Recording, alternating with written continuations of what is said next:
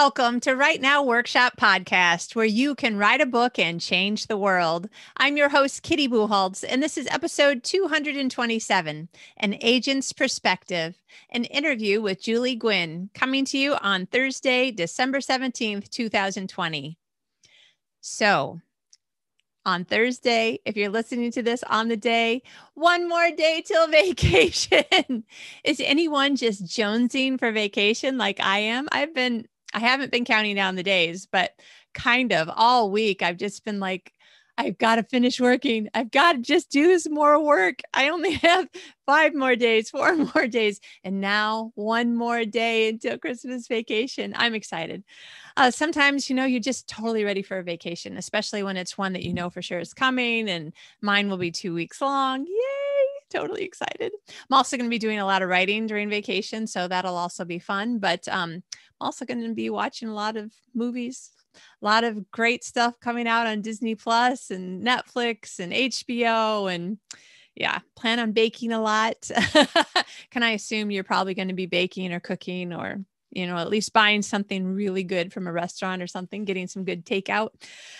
Ah, vacation. So, Merry Christmas to you. Happy holidays. Whatever it is that you are celebrating, I hope that you have a wonderful and safe time. That is my plan as well.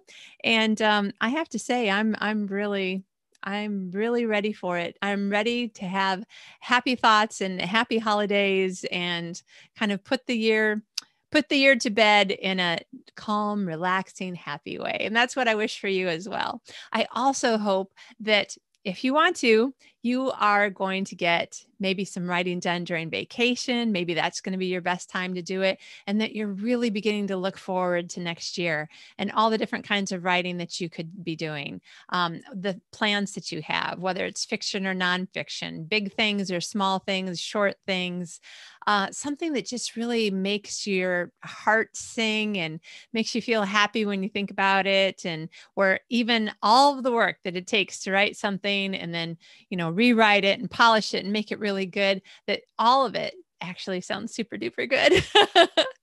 That's my favorite part. My favorite part of life, I think, is probably writing and coming up with the story and wrestling with it. I, I like I might like all the parts of writing, honestly, not always in the moment, but in general.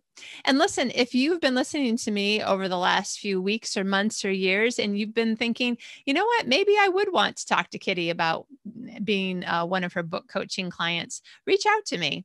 I am having a great time. Um, I I always knew I liked doing this, but I didn't realize how much I loved doing it until I got really serious about it and had actual programs and and clients and um, so reach out to me at writenowworkshop.com forward slash writing coach and let me know that you're curious about uh, working together um, either one-on-one or in a small group coaching program which would be less than 10 people and we would meet on zoom calls. Um, all of it would be on zoom calls because then uh, pandemic or no uh, that we still aren't all in the same place. So uh, that's the best way we can communicate better see each other's facial expressions and body language and it's just um, if you can't meet together then i think being on video is definitely the the better part rather than audio only. Um, and then um, keep in mind too that i've got a uh, membership group that is pretty much all about the accountability of writing together and we do two or three writing sprints a week and we have a guest speaker once a month and um, it's just people get together in the zoom room get everybody there. All right, 30 minutes from now, go. Everybody mutes, type, type, type, type, type, type, type. And sometimes, you know, uh, somebody will be working on something that's not the actual typing of the project. Maybe it's this is my half an hour. I'm going to spend only a half an hour doing this particular research, or um, you know coming up with the backstory but it's nice because you have a start time and a stop time and then you can see what did i get done? And then we can all celebrate each other and encourage each other so it's a great group. Uh, you can do that for just uh, $105 for three months and it's super fun and the people are really really really nice. So um, if you're interested in that let me know or go to the website and then last message, yes, I wanted to remind you that um, I have really been enjoying this mini season that I've been doing on the podcast, where I have five episodes that are all about this one topic of editing. So if you are coming in new and you didn't know that, all five of the December edis- episodes are all about editing. So definitely you're going to want to listen to all of them, definitely. Um, and they come from the perspective of editors, agents, um, and then one is um, last week was an agent and a debut author talking together. So that's pretty cool. Um, lots of really good advice and interesting ways to be thinking about editing your book. So I hope that you've been enjoying that. Um, I also have, and so I'm going to start changing the uh, the way that I do the episodes so that it is always in seasons. So uh, December 31st will be the end of our uh, five five episode mini season on editing. And then there'll be three weeks off, and the next season will start on January 28th. So if you are not subscribed and you're listening to this um, either on your podcast app or on YouTube, just be sure to hit the subscribe button so that you don't forget to come back again um, at the end of the uh, the three off weeks.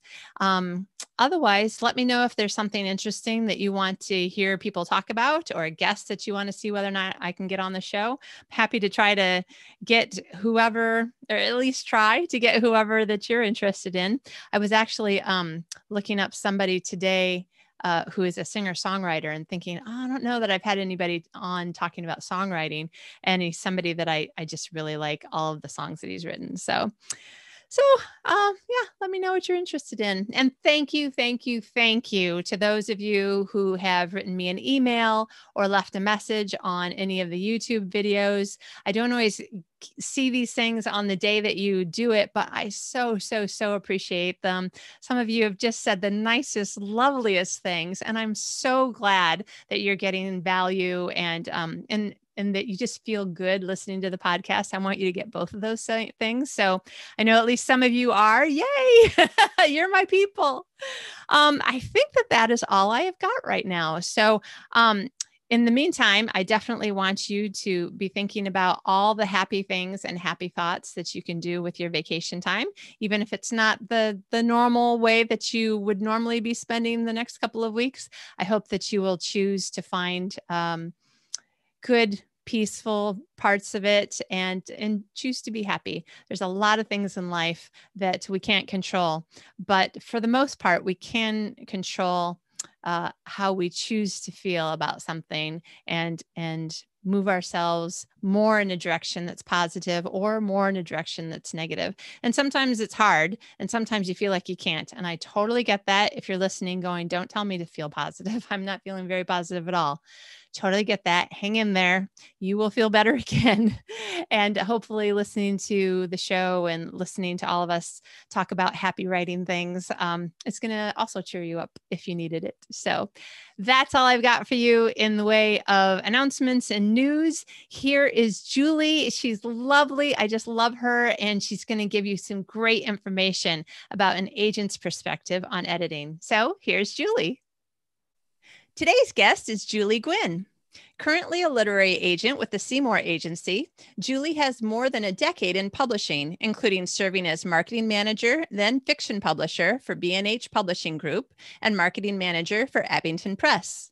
Prior to joining the publishing industry, Julie has more than 25 years' experience in advertising, marketing, and public relations. She uses her previous experience to aid her authors at every phase of their publishing plan. She lives in Nashville, Tennessee with her husband and two children and also enjoys freelance editing and do it yourself projects around the house. Welcome, Julie. Thank you so much, Kitty, for having me. I'm excited. Yay! I've been excited to talk to you since the first time that I met you and we were talking. You were on a mountaintop with a cell yes. phone and yep that's kind of the way you do things in Tennessee. oh, well, it's great to see your smiling face. I, have seen your picture, but now I'm like, oh, this is what she looks like in real life. yeah, it, it's always better to put a face with a name. Yeah, I, I think. Yeah. And you know what? I've been thinking for over a year, I really need new headshots. I finally let my, I, I, I was born with brown hair, but now I have my mother's white hair. oh. and I really need new headshots because my old ones like show a totally different look with brown hair. Uh, right. but uh, you know, COVID has been like, yeah, no, I I'm just gonna have to give people my old headshot. I know. It's like don't look too close. right, right, exactly oh, so I'm very excited to have you on the show because you and I have already talked. I know that you give amazing advice, so I'm super excited. Um, this episode, you and I are talking in, in November, but this is going to be part of my December editing series. So I've got uh, you and another agent and three other editors, and I really want people to be thinking about editing. Not only, um, you know, there's hundreds of thousands of people who are writing like mad during National Novel Writing month right now.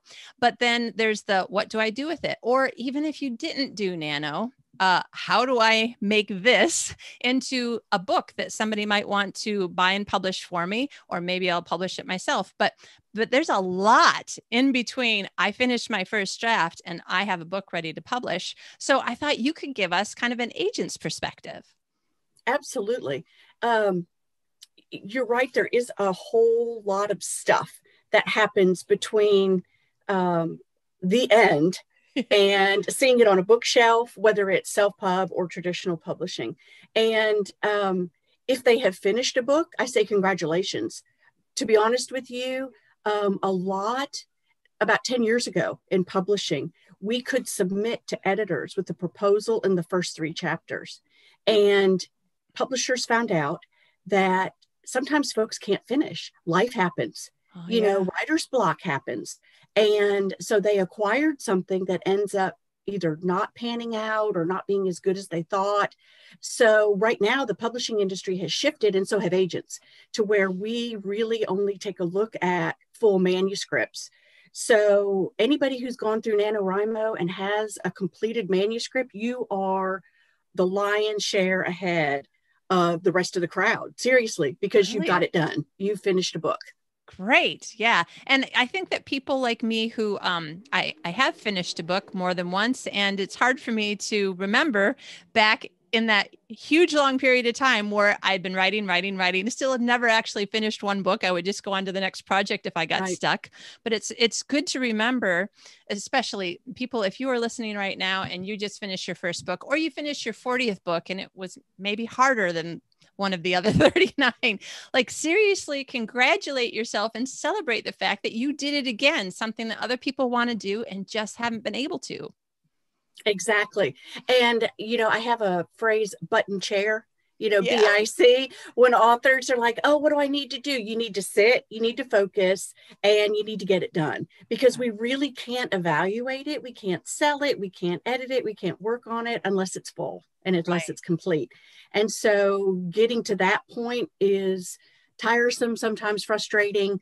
Um, but that is a huge first step that a lot of folks don't get to you know yeah. they peter out or whatever so you're exactly right congratulate yourselves if you have a full manuscript whatever shape it's in um, that's a huge first step absolutely Excellent. Well, why don't you give us just a little bit of background on you so that we can understand like what is it to be an agent and um, how do agents even know what to tell us to do? And then let's um, kind of move through agenting a little bit. And um, our primary topic today is going to be about book proposals because mm-hmm. I think that maybe people don't totally understand um, when and how to do book proposals. Right. So my background is mostly I have a journalism degree uh, and did the PR newspaper reporter route for a while, nice. and then went into um, marketing for Lifeway Christian Resources. So I was ah. hired as their marketing manager, and I was teamed up with Karen Ball, who oh, I is, know her. yes, who's kind of a legend in uh, publishing, especially inspirational publishing. She's also an author. Um, and because she was in Oregon, I was in Nashville, where the headquarters is. She would task me with looking through proposals and say, "You can only send me three or I would go to you know conferences on her behalf and she would say okay you can only send me two so from a marketing perspective I'm thinking I can sell any of these you know they're all great they all have a wonderful hook but from an editorial perspective and knowing what it's going to take to get it through the internal channels and then published and then sell through to the consumer, yeah. you have to be more discerning. And so it was wonderful being able to learn that through her. Uh, because now as an agent, you know, I'm getting 20 emails a day. You know, we're going to virtual conferences now and I love them all. I, you know, they're like puppies. I wish I could keep them all because I think they're all wonderful. Um, but there's the logistics of bandwidth for me and also the reality of publishing spots that are available. So it kind of forces me to have to hone down. I still use the marketing background a lot. Once I've signed an author, I work with them to really get their platform up and going and built because getting that first contract, as hard as it is, is important that we do well, or there may not be a subsequent contract. Right. You know, so getting that sell through making sure the numbers are great. And so much is being put on authors right now to market their books. So I think that's probably what makes me different as an agent is that I've got that marketing background and I kind of help them long term. You know, I'm not done when the contract is signed. I actually work with them through release, you know, reposting and helping to make sure that um, they're reaching their target audience. Yeah. And you understand being on, uh, well, we're going to make this a three sided desk now instead of two sided. Not only are you an agent now, but you used to be an acquisitions editor, right? And you've been a writer. Correct. So, Karen, um, because of the distance situation, uh, stepped back and I became fiction publisher for B&H. We had about 24 books that we put out a year. We had our first Christy Award winner with Ginny Yttrup's book Words. Nice. She's an incredible writer. Uh, we had Brandilyn Collins, we had Tosca Lee and Jim Rubart. So we had a lot of really strong folks. And then Lifeway just made the decision not to do fiction anymore. And at that time, um, several inspirational publishers kind of stepped back from fiction and really started focusing more on church leadership and nonfiction. So that's when I moved into agenting. But I feel like everything I've done has culminated to this point because I use every skill set uh, time management, knowing the production process, uh, knowing what makes a good cover, advocating for authors, you know, contracts. I've seen both sides now, the yeah. editing, the marketing, all of it is kind of rolled up into what I'm doing now. Nice. And I would say that just um being you, this would be kind of an awesome job. Like you have all sorts of different skills and you get to use them all. Exactly. I I seriously love my job. And you know, there's the thrill of the hunt, you know, yeah. looking through the the email inbox, um, looking for that gem, um, all the way through to today. I got a text that one of my Amish authors made the USA Today bestseller list. So, you know, it's it, it's lovely seeing the process start to finish yeah. instead of just a piece of it, like I did when I was publisher. Right. Um, or marketing manager, you know, where you're just getting inserted at a certain point. Right now, I get to see start to finish, and I love it. Yeah, yeah. So let's look at um, the publishing industry. Like, honestly, I think every industry in the world, whether it does it slowly or quickly. Um, it changes over time. It changes with um, with new technology or uh, just all sorts of different things. So the publishing industry is no different. Um, it, there was a point when I started when there was traditional publishing, or there was save up a few thousand dollars, go to a printer, make a space in your garage, and try selling the books out of the trunk of your car.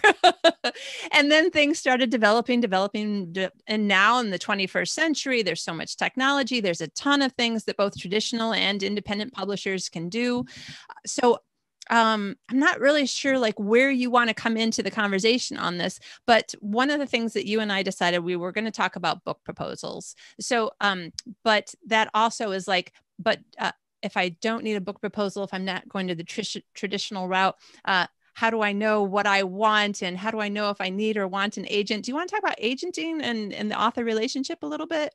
How sure, somebody absolutely. decides?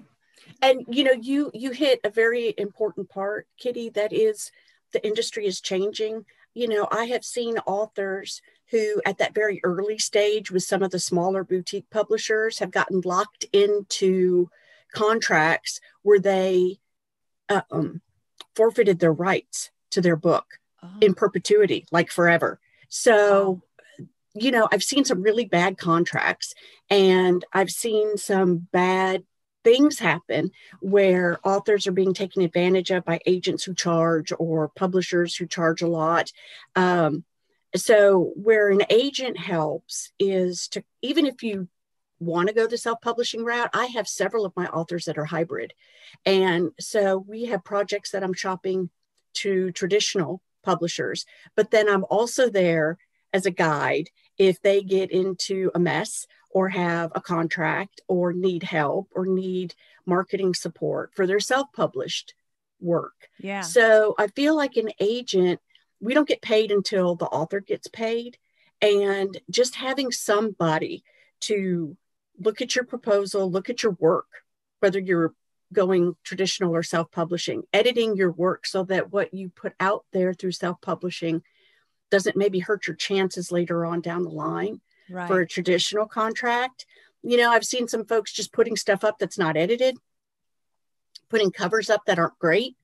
Um, and and that reflects yeah you know you see that in the reviews and then they come to an agent and say okay now i want to traditionally publish and unfortunately you you can't erase yeah. what's already been done and a publisher will look at that so where an agent comes in is we can help with the career planning and say okay if you want to self-publish now with this project and maybe traditional publish with this one let's figure out a strategy you know let let me help you so that what goes out there elevates your author brand yeah. instead of is something that you have to find explanations for you know down the line right so we're kind of um, we know where the traps are we help authors navigate that and keep from falling into that yeah. Um, but we also just want the best product out there that can be yeah and sometimes that means taking a step back and getting a professional editor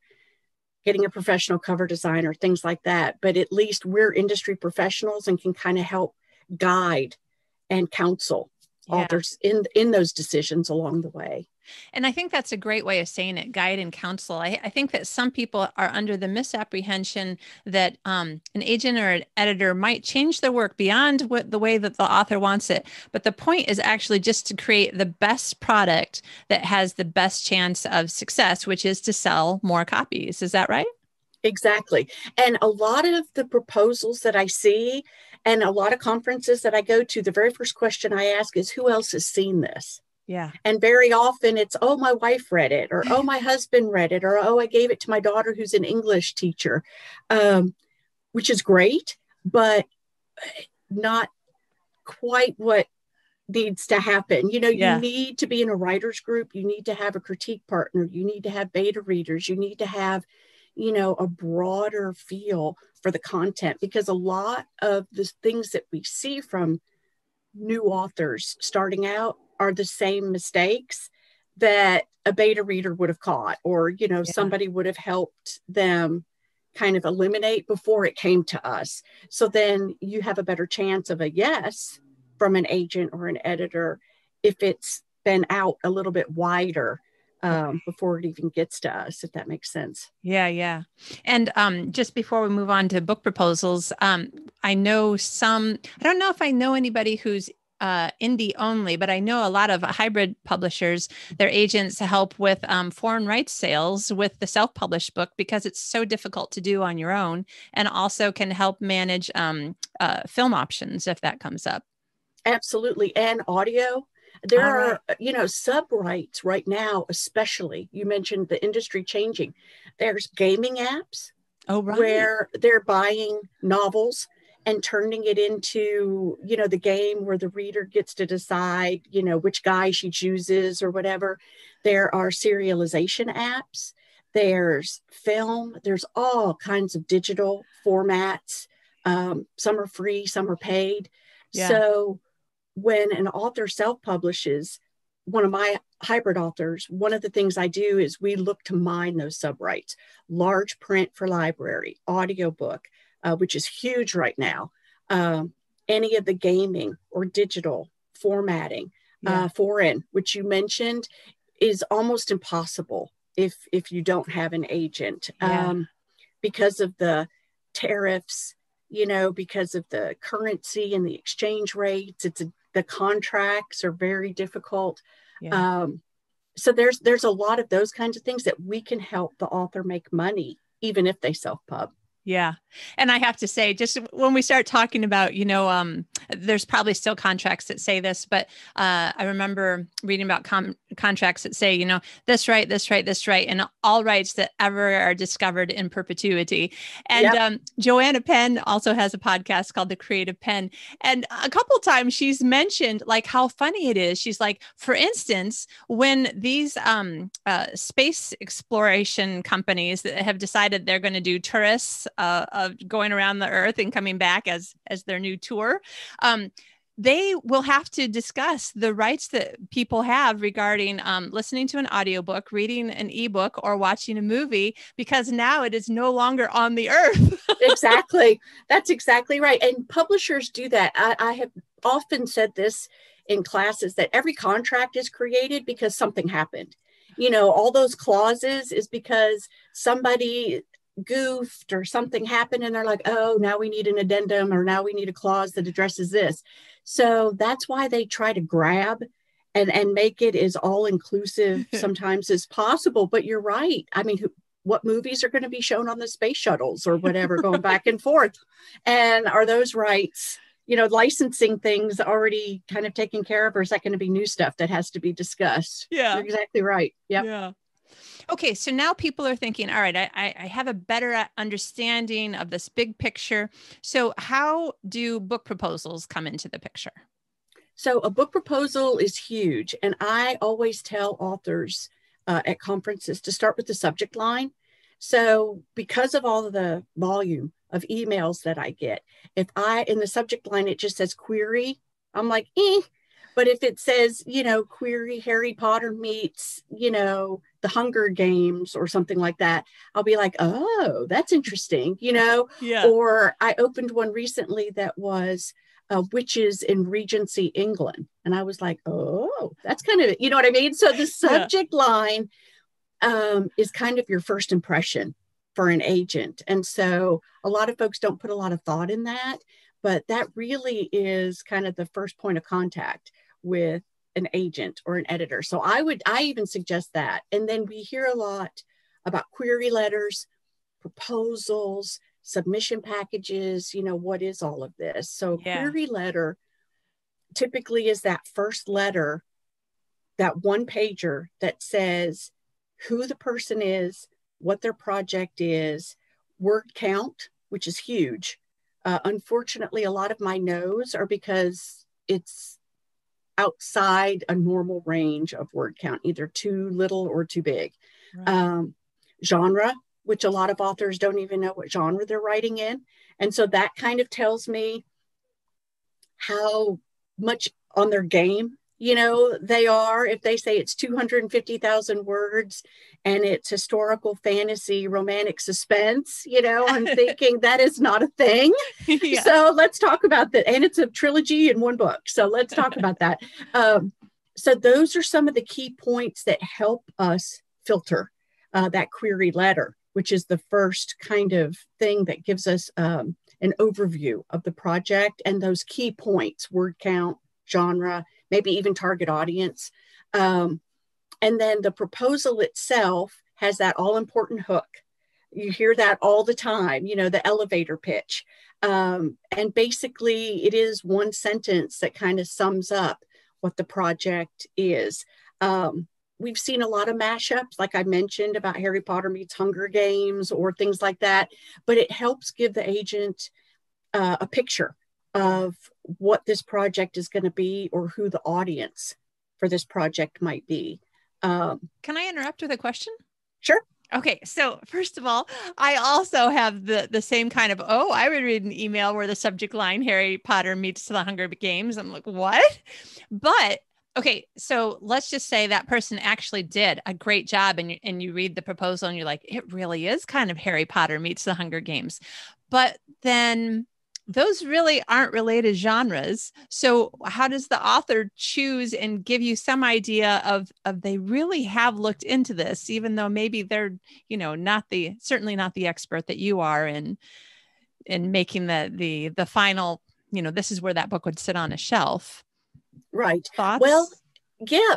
Um, and that's part of the counseling. There are several conversations that I have. As a matter of fact, I'm having one with an author this this week or next week where it's historical, but it could go YA or adult because okay. the time period you've got the protagonist in the 18 year old, 16 to 18 year old range, which was adult back then, but would be ah. seen as YA right now.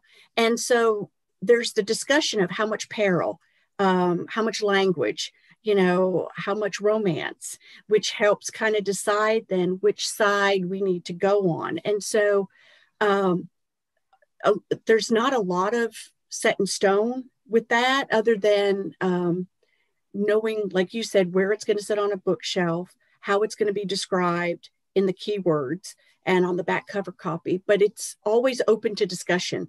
Um, because it may be that once we get into it, oh, this was pitched as middle grade, but really the peril is higher than that. And the and the people are dealing with issues that are beyond a middle grade level. So we need yeah. to discuss maybe moving this into YA.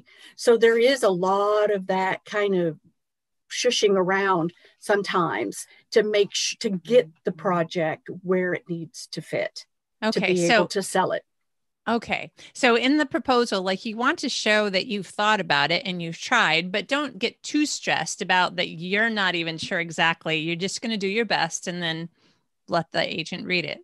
Exactly. Because that's part of the partnership is really kind of deciding, you know, if they have if they're on TikTok and their fan base, they're, you know, the people who are following them, their platform are in the 16 to 18, but their protagonists are in the early 20s, or maybe somebody's married, then there's a disconnect there. So then maybe we would recommend aging down, you know, the characters to be more um, acceptable or applicable to the readership that they've got, you know, yeah. kind of generated. And so um, we have counseled authors in that way to help them match audience with content and also trends. You know, right now, maybe YA historical is trending. So we would want to shift that way to give it a better chance to sell.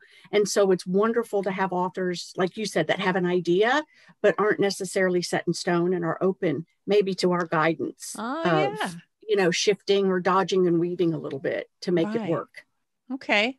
All right. So you were talking about query letters that got me onto that question. Yeah. And how query letter fits into the proposal. So I'll let you get back on topic again. Sure. So the query letter is kind of that first email, that first page, because agents usually won't open attachments. Mm-hmm. And so we ask for the Seymour agency does, and I know everyone's different.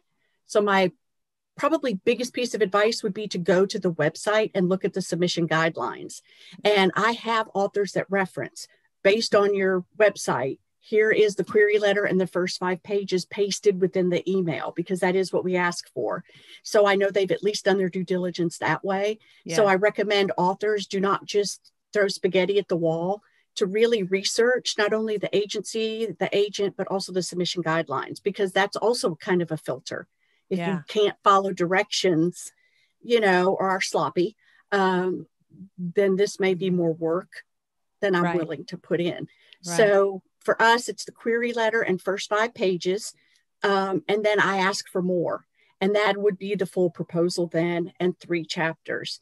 So the proposal would have that hook, the, a brief description or synopsis, um, their bio and headshot so I can see what previous publishing experience they have, whether it's articles or self pubbed, um, what affiliations they have, potential marketing. I like to see kind of their links because we do research. We'll click on those links. We'll uh-huh. say, okay, I want to see you on Twitter. And if you haven't posted in two years, we're going to have to talk about, you know, being a little bit more relevant. Yeah. Um, so I want to see where they are marketing wise and potential endorsers. You know, how engaged are you in the writing community? Who do you know? Are you part of those writers groups? You know, are you engaging with other authors and readers online and, yeah. and nurturing those relationships? Because I'm thinking that's going to help with sell through, that's going to help with positioning and marketing when we have a book. Yeah. Um, so those are the things that I look for in the proposal and then first three chapters. Excellent. And um, it's uh, uh for some people, some people, um, you know, I remember being in that place where I so much wanted to do everything right to get mm, like the best possible chance. And then I would be asking questions like, you know, single space or double space and how many pages should a chapter be and stuff like that. In general, what's your what's your advice to people to help them to relax and just like put their best foot forward at the same time? It's hard to that's do a, both. that's a great question. And you know, some agents get really stuck on formatting you know, but you'll see a lot of smaller publishers too do that. Like you have uh-huh. to send it in 12 point, you know, Times Roman and double spaced, and that's their filter. You know, okay. that's their way of seeing if you can follow directions. I'm not as much a stickler okay. on that. Uh, I'm more about the content, but spelling. If they spell my name wrong, or there's a lot of typos or grammatical errors, it hasn't, I mean, it's almost like a job interview. You know, this is what you're giving me you know, yeah. and it hasn't been thoroughly proofed. And so that kind of talk speaks to work ethic, you know, and um, attention to detail. So for me, it's more that than it is. But I think 12 point times Roman, you know, the proposal double spaced. And then I like my chapters either single spaced or double spaced. A lot of submission guidelines will dictate. So again, doing that research will help pave the way yeah. to more yeses, I think, than nos. This is interesting because one of the things that people will find as they start working with an editor in in whatever uh, way that they're doing it with um, somebody at a traditional house or somebody they've hired on their own, part of what uh, you have to learn is that yes this is your story but now you're working in partnership with someone else to make it a better story and when somebody says this isn't working maybe try this it doesn't necessarily mean you have to do this this way. It means there's an issue here, and I need you to figure out a way to fix the issue. Sometimes that's what it means.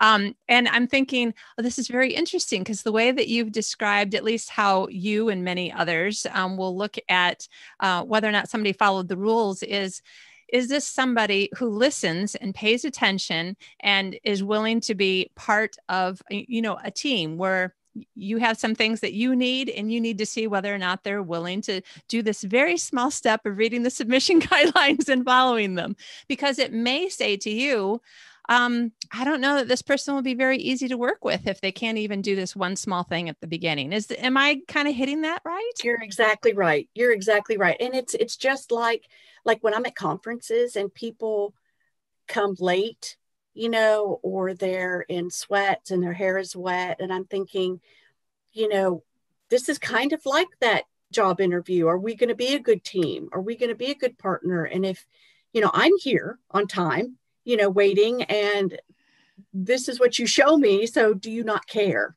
Um, and I think all of those things kind of weigh into because for an agent, we're looking for long term relationship. And so um, not just do I like you personally, but are we going to work together really well? And do you respect me? Do you trust me?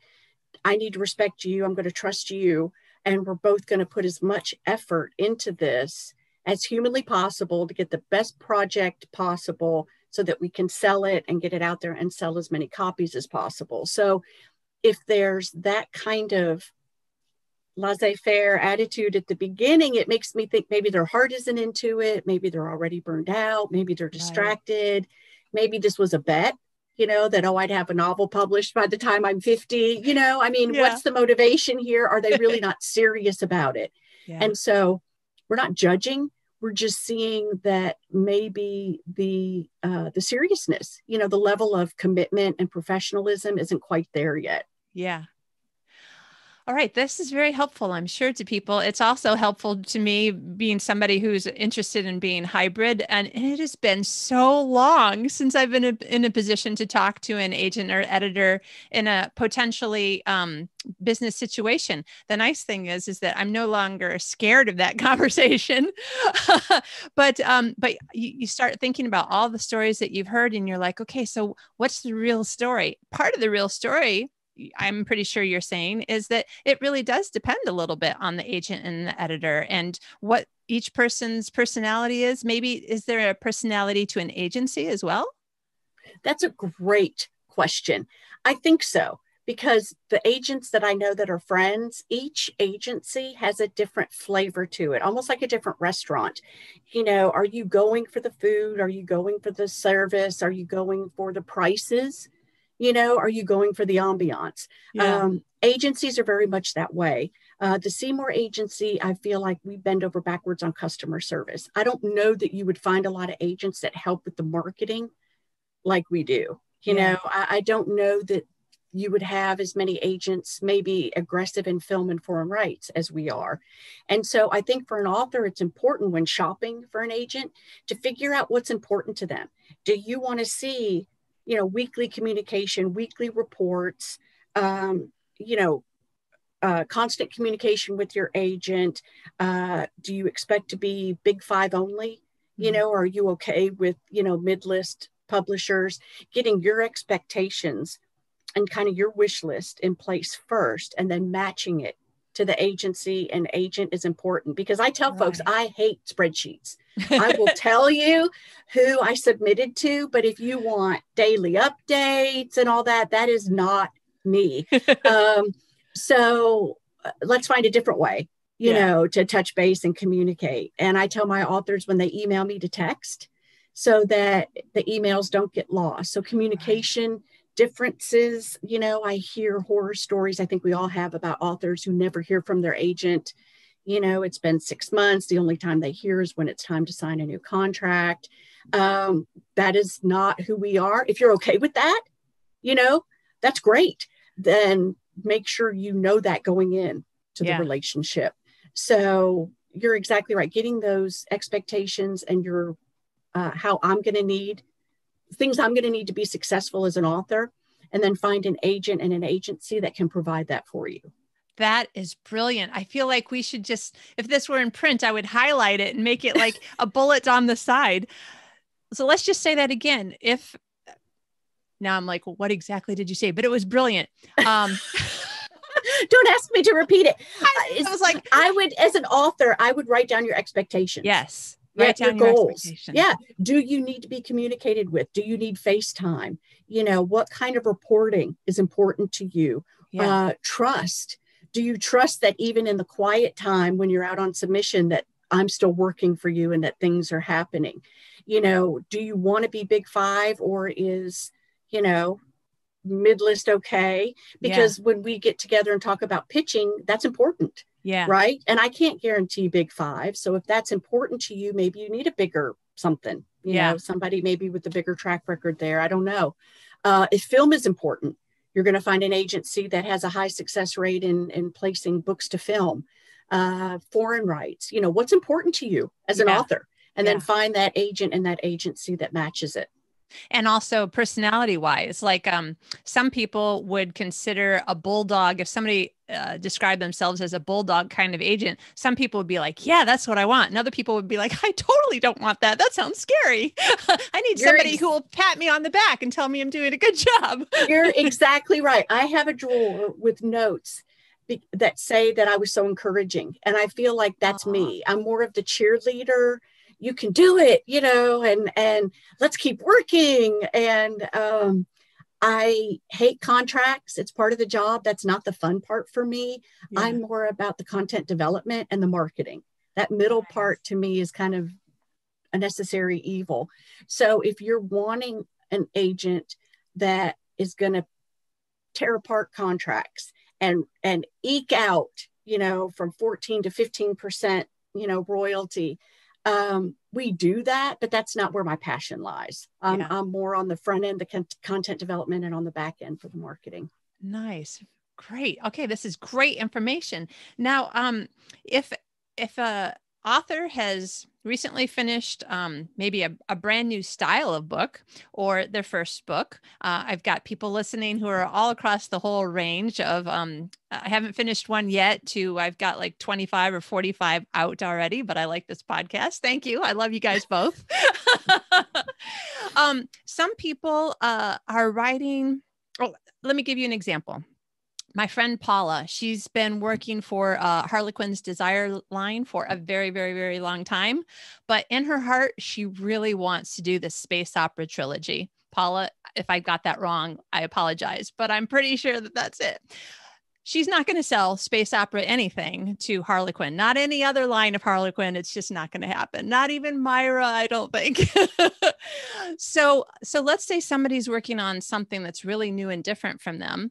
Um, I have a guess that one of the things that they might need to do is um, either write the book of their heart and and just be happy with it and then try to figure out this is a question in the end and then try to figure out you know is this the kind of book that i send to tor or grand central or Revell um, versus getting to the total finished product end? You've done tons of edits it's well developed um, and now you have to figure out at the end what kind of publishing house that you're looking at. Do you have an opinion as an agent talking to authors at you know conferences and all sorts of things probably talking to your own authors when they have some sort of passion project something that's different? Uh, where do you suggest that they start looking at um, who is this going to go towards? That is a great question. Um, one of the things that could be part of the proposal is comparables comparable titles. And so that um, lets me know that you've been doing research in this genre, you've been doing research in this age group, you've been doing research in this audience realm, and you've given me comparable titles. They may, and, and some of the good proposals that I see say it's like this, it's like Hunger Games. I'll just keep using that. And it's, you know, Hunger Games could be a comparable. We call that a super comp because it's just so big and well known. But it's my book is like this because, and my book is different because. And so as an agent, it helps me think about which editors I would pitch it to. So if it's science fiction is very narrow focused. Uh, the target audience there, I mean, you can't, it, it's so rabid the science fiction audience, you know, almost anything that sci fi they're going to consume but there's not that many publishers doing science fiction. So if your comparables are science fiction titles, that may give me pause. I may not know any editors looking for science fiction right now. Um, so maybe we need to pivot and talk about spec or fantasy, you know, as maybe an entree for this book. Can we position it maybe differently? So I would say write the book of your heart and let the agent help you decide kind of where it goes. But comparables do help uh, because that does give us a framework for for figuring out what the book would be called and where it would sit on a bookshelf and which editors like Tor or you know Jollyfish or you know HarperCollins or whatever to pitch it to. So it gives us yeah. kind of a head start on where you think this would sit. Um, and then we obviously would discuss kind of beyond that. Excellent. And and hopefully um, everybody listening, you already have an idea that you should probably have at least a vague idea of the kind of genre that you're in. So for instance, you wouldn't pitch space opera to Revell because they publish Christian fiction. Uh, so and you wouldn't publish um, I, I would you know what? I'm not going to say no to the Harry Potter meets Hunger Games pitch towards Tor. I guess it just depends on how the book was written, right? Right, right, exactly. okay, good. This is good though. I mean, the whole point is if I'm reading you right, you want people to have thought this through at least to the best of their ability. And then if you end up um, me- meeting with them and you two decide this is a great relationship, we should formalize it. And now you're their agent, then you work together and you figure it all out exactly that's part of that dodging and weaving the discussion the discussion of where this would fit in the marketplace yeah you know do we need to tweak the age of the characters? Do we need to maybe change the setting? Do we need to add in maybe magical realism because urban fantasy, you know, maybe is on the downslope right now? You know, yeah. those kinds of discussions because we're on the phone all the time with editors talking about their wish lists and we watch trends. Of course, you can't write to trends, yeah. but it gives us kind of a starting point for trying yeah. to pitch. And to your point, so when I sit down with an author and I ask them, has anyone seen this before? you know, other than a spouse or, or a child. Another question I ask is, do you read in this genre? Because I've had publishers tell me that they get stuff pitched to them that's YA that is clearly middle grade and that there's different nuances, there's different voices, and that that helps them to realize that the author is writing in a void and not reading what they write. Yeah. And so that's important. Um, Liz Pelletier with Entangled, she says that like middle graders, they all work as a group. There's a pack of them and they all talk constantly. They share feelings, they vet ideas. They're, you know, if you think Stranger Things, right? There's that group of kids yeah. and they're talking. YA, they don't. YA are very introspective. There's maybe one or two close friends. Uh, they don't share a lot of details, it's more kept inside. Yeah. And so if you pitch something as a YA that has a group that's talking incessantly, the editor is going to know you really have miscategorized your project. And so then my question is do you read in that genre? Because yeah. you'll realize that this won't work for YA. Right, right. Oh, that's brilliant. Wow. I want people to just like always be taking notes. I get these great guests like you that are giving such amazing information. Now, we don't have a ton of time left, but I wanted to ask you uh, I have two more questions on my list, and I'll let you decide how much time you want to spend on them. Um, one is the difference between a fiction and a nonfiction proposal, and one is simultaneous submissions. Excellent question. So, uh, for a fiction proposal, like I mentioned before, it used to be that we would take it with just three chapters. I'm going to ask you: Is the is the novel complete? I want to know word count. I want to know genre. I want to know that it's complete because I, am probably not going to sign you if it's not. Uh, I need to be able to evaluate the entire project because editors are going to want to see the entire project. Yeah. Um, so those those key elements are huge for fiction. For nonfiction, it's more about the table of contents. And I pitch nonfiction incomplete because the table of contents already lets me know what's coming. Um, also, endorsers for nonfiction are more important uh-huh. than for fiction because we need street cred. We need that third party endorsement that this person who's speaking about finance or parenting or sex education or whatever the topic is has knowledge and we need other people from those fields to say this person knows what they're talking about that the yeah. information you're going to get here in nonfiction form is accurate and applicable and appropriate uh, the exception to that would be memoir obviously because that's the person's own story and you don't need anybody to verify that it's you know authentic yeah. um, but so yeah that's those are kind of the key differences between the fiction and nonfiction and both platform is equally important mm-hmm. um, but yes we can pitch nonfiction partial whereas with fiction i need to see the full and because the nonfiction is uh, the proposal is being judged a lot on uh, the chapter titles, you actually want descriptive chapter titles rather than cute ch- chapter titles. Yeah. Correct. Like a sentence that tells us what we're going to find within that chapter to show kind of the broad scope of what's going to be covered topic wise within yeah. that nonfiction book. Nice, beautiful. Okay, and then what are your thoughts on simultaneous submissions? And you can talk about it from the agent and the editor perspective, wherever you think is is the right it, way to look at it it makes sense to go out on simultaneous submission. I know that um, that just makes sense that you're, you know, timing wise, you're not going to wait for my response before you go out to someone else. I think that research of, you know, I get a lot of dear agent letters, oh, which yeah. let me know that they haven't chosen me. They're just kind of casting a wide net. And so I'm less inclined to take the time.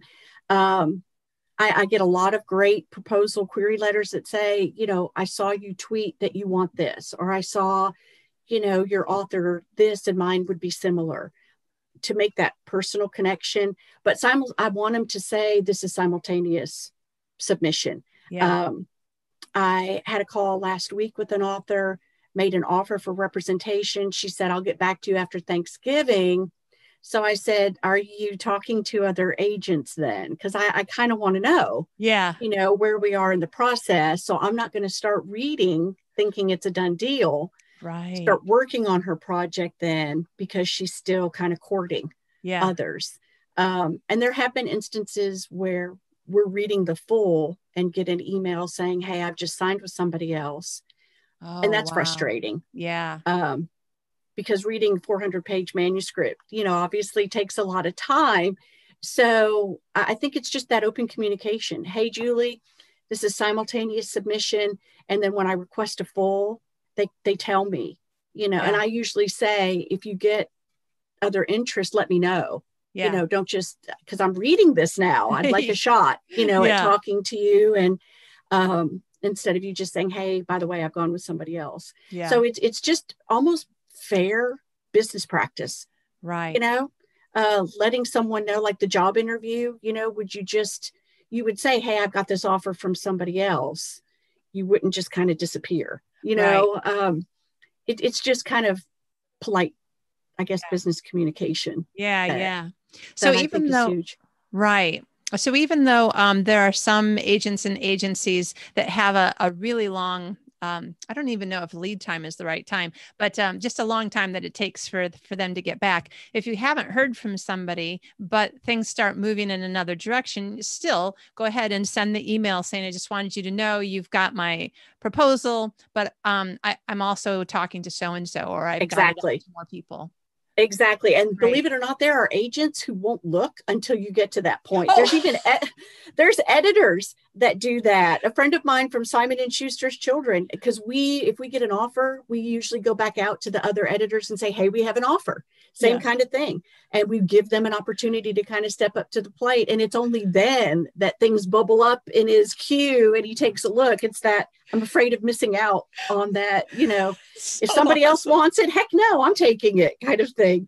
Um, but it's, it's, it's just because you're talking about YA just a minute ago, and I'm thinking, wow, this is a little bit like high school. Wait, if everybody wants to date her, then so do I. exactly. And no, you're not getting that. I want that. so it's uh, it's competitive. Um, but I think all problems and all bad feelings and all bad juju and vibes can be avoided just through clear, open communication. that's brilliant. You know, so because I want to know. yeah, um, because then I'll hurry, you know, Yeah, and, yeah. and get back to you quicker as opposed to just being uh, left out or, or not having an opportunity yeah. to be a part of a project. Excellent.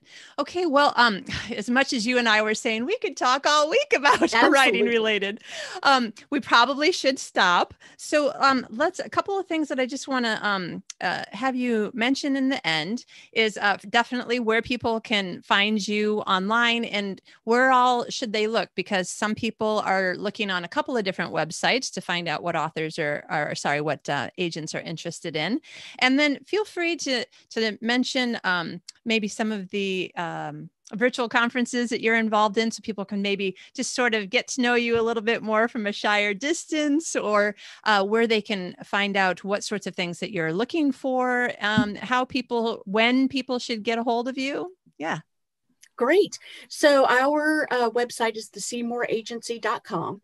And on there, you'll see all of the agents' profiles. And um, there's a little bit of a wish list, kind of what we represent, what we don't represent. Like I don't do erotica, you know, and I really don't do devotionals. And not so keen on memoirs. They're just harder unless you've been kidnapped by Somali pirates and you know survived. There, it's it's a tougher sell. Um, Yeah. But you can kind of look through there. Tina Wainscott does um, like spiritual, but not Christian. And so she'll say that you know she's she's the the yoga and the different kinds of religions whereas if my, you know so she said if it's christian go to julie. So reading those bios that's part of that doing that research on the front end that i think is so important. And then we have our individual emails there. Um, i'm also on query manager and i'm also on mswl uh, manuscript wish, wish list. list. Okay. Yeah, and and editors are usually on there too. But I also encourage folks to follow me on social media. I'm very open uh, about what I'm looking for. I'm always posting about books and trends and tips and things like that. Um, and I've had people DM me through social media, which isn't my favorite form of communication, but I, yeah. I will try to respond. Um, that's more for me kind of outgoing stuff as opposed to uh, in. Um, and then my email, you know, is is always available. It's Julie at the Seymour SeymourAgency.com. Wonderful. Brilliant. Thank you so much. This is just so much information. I'm so excited. You gave us a whole lot of stuff that uh, we haven't heard before on the show. So, yay. good. Good. I'm glad. well, listen, thank you so much. I know that, you know, everybody has a busy day, but it seems like I don't know a single agent or editor who doesn't have a very busy day every day. So, thank you so much for sharing with us today. I have had so much fun, Kitty. I really have. And just to your authors, I want to say you can do this, butt in chair. Finish that project and then query because that's that's all it takes.